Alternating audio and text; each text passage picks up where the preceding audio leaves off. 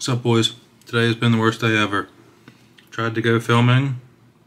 The rocks were too wet, and then I lost a leg to my tripod. So you guys are now propped up against some tires. Then, came home, tried to film this video three times. Every time something went wrong. I finally filmed it. Everything went well. I uploaded it, and the whole thing was in slow motion. Not only that, but when I plugged the truck in to do a test run, it went uncontrollably wild. All the wires got tangled in the axle, and it ripped my ESC apart. I do have the clip, but it's in slow motion. I'll go ahead and put it here so you can watch.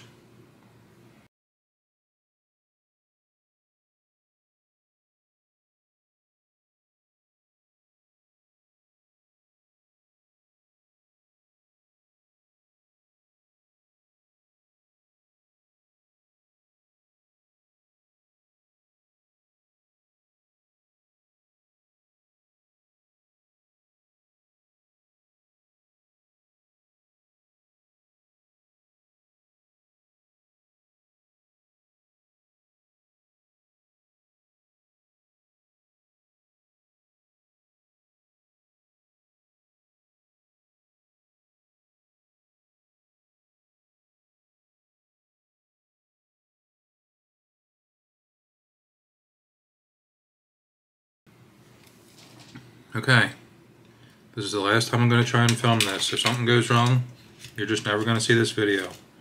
This video is for the new chassis kit from WT Micro.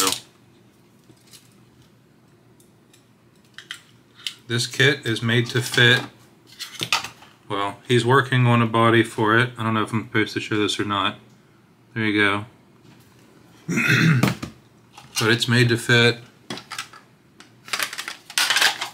this toy body from Big Country Toys.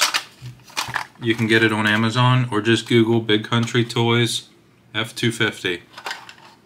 There's six screws in the bottom. Take them out. That comes off.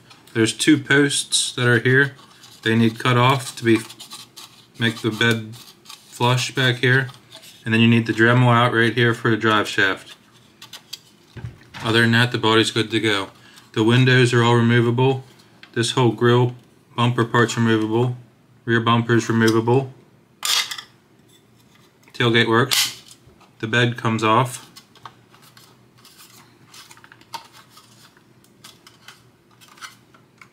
Mirrors are rubber. They also sell a gooseneck that fits this body.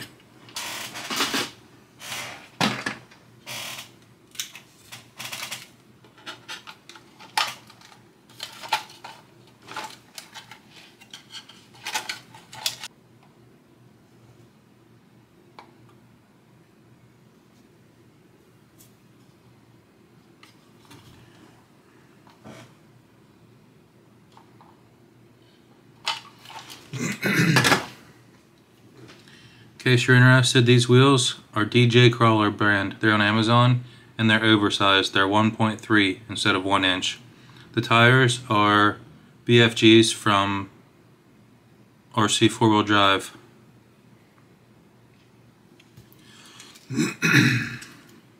the chassis kit. Things you're going to need. You're going to need a hardware kit. You can get that from Maz Designs or Amazon. You're going to need links. These are just normal standard C10 links. You're going to need specific shocks for this. Injora 39 mil oil shocks.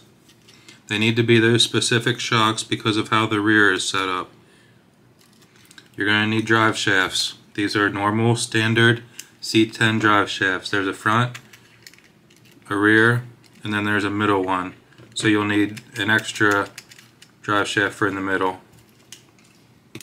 The way this is set up, it uses a second transmission mount back here to just act as like a spacer to carry on the drive shaft instead of having it run the whole way down through here.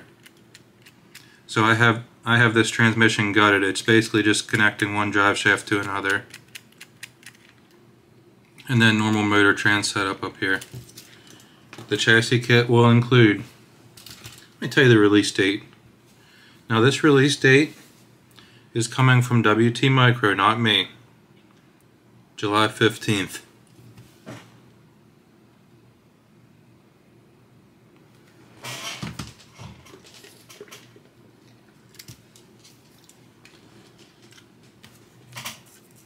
The chassis kit will include two metal rails and a bunch of 3D printed parts.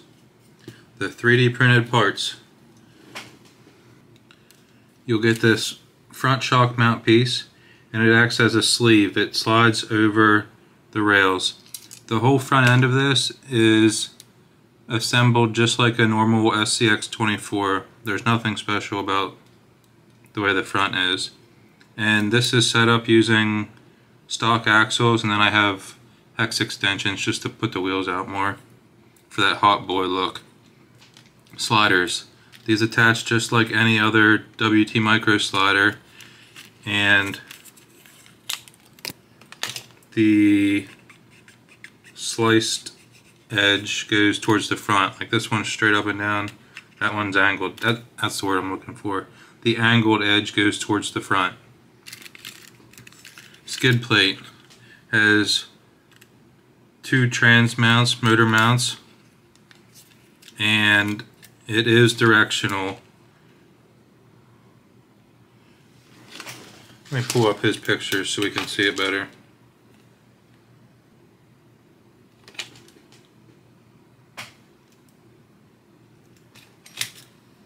Okay, this is the front and this is the rear.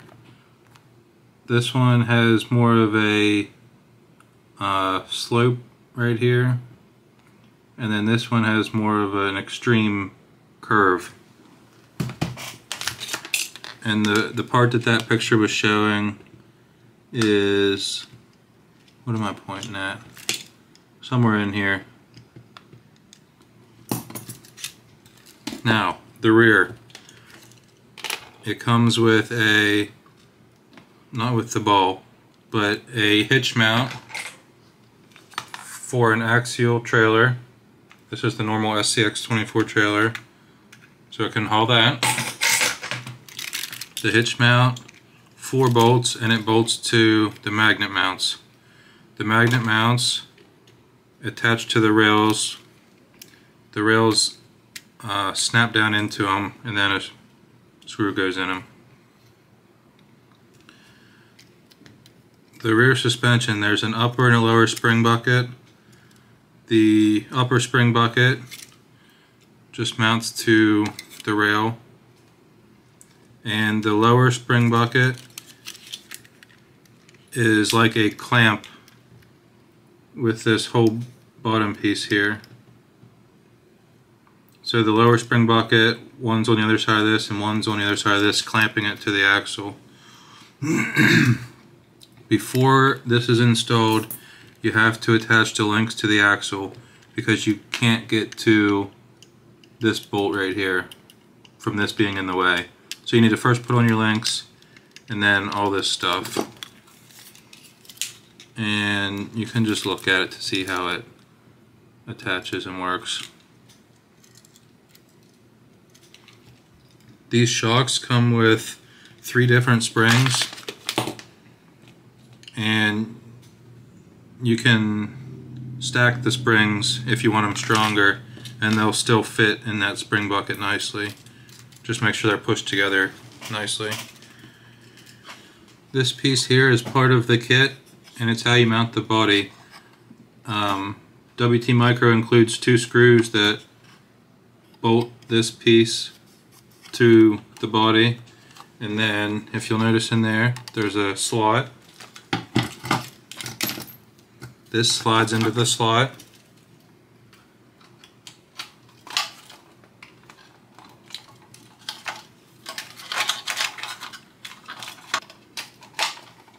And then the rear has magnets that I didn't glue yet, but they just are right below, right below here. Sliders line up perfectly.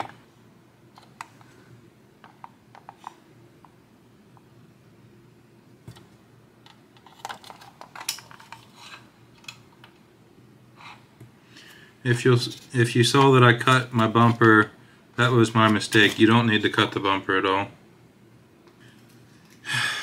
It still flexes well.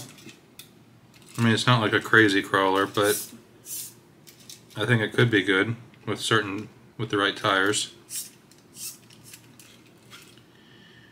No run test because I my ESC just got ripped into three pieces from the previous run test.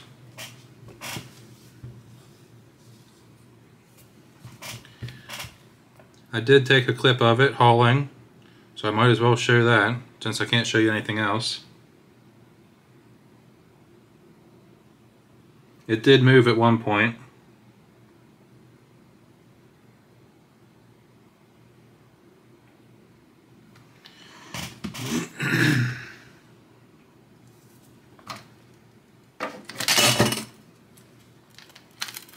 This is compared to a C10 wheelbase.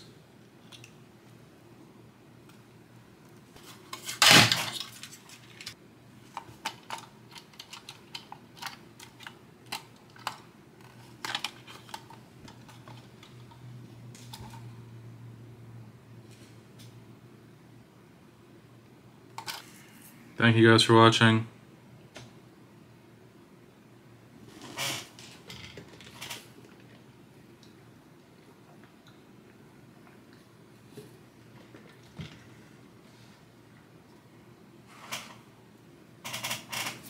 Thank you guys for watching. This chassis kit is awesome. I love it, and I hope you do too. Actually, I guess I don't care if you do, but it's a good product. All of his stuff is. WT Micro, shirts available, www.24yep.com. Thank you guys for watching. Peace!